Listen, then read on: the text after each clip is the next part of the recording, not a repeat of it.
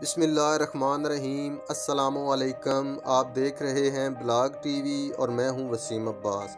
दोस्तों, इमाम जाफ़र सादक सलाम की खिदमत में एक शख्स आया और कहने लगा, फ़र्जंद रसूल, बरोज़ क़यामत वो कौन सा अमल है जो सबसे ज़्यादा फ़ायदा देगा? तो इमाम सलाम ने फरमाया कि क़यामत के दिन सबसे ज़्यादा फ़ायदा सब्र देगा।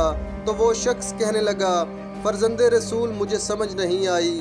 तो इमाम सलाम ने फरमाया कि ऐ शख्स याद रखना, क़यामत के दिन जब लोगों को कब्रों से उठाकर अल्लाह की बारगाह में जमा किया जाएगा तो कुछ लोग जन्नत के दरवाज़ों को देखकर दौड़ पड़ेंगे और जन्नत के दरवाज़े को खटखटाएँगे।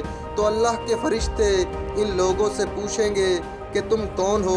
तो वो कहेंगे कि हम अहले सब्र हैं तो अल्लाह के फरिश्ते कहेंगे कि तुमने किस चीज़ पर सब्र किया है? तो वो कहेंगे कि हमने अल्लाह की रज़ा पर हर मुसीबत पर सब्र किया और अल्लाह की रज़ा के लिए अपनी ख्वाहिशों को कम कर दिया। तो अल्लाह रब्ज़त की आवाज़ आएगी कि ऐ मेरे फरिश्तों, इन लोगों ने सच कहा है, इनको जन्नत में दाखिल कर दो, क्योंकि मैं सब्र करने वालों को अजर बेहिसाब देता हूँ। तो दोस्तों आज की वीडियो में इतना ही।